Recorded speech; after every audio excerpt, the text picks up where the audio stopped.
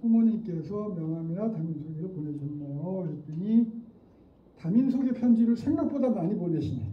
네, 좋아요. 근데, 어, 명함 음, 제가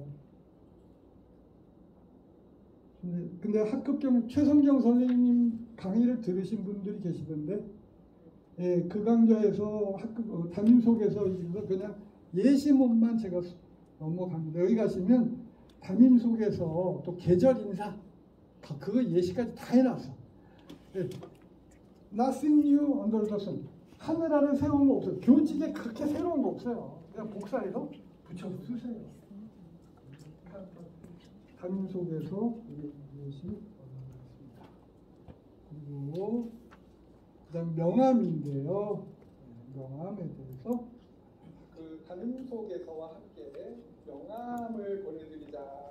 이제 말씀을 드리는데 꼭 교사가 물건 파는 사람도 아닌데 왜 명함을 보내드려야 되냐 그러니까 제가 지금 녹화를 하고 있지만 선생님들 앞으로 이거 이 교직에 1, 2년 더 있고 한 평생 있을 것이라면 녹화하세요.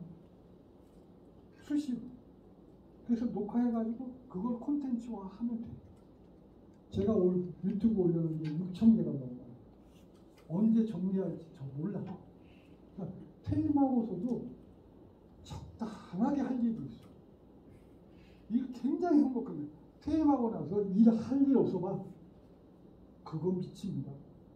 스트레스 받아서. 이렇게 평소에 녹화해서 활용하시면 명함이 이렇습니다. 명함에 뭐가 있어요? 그 분이 있어요.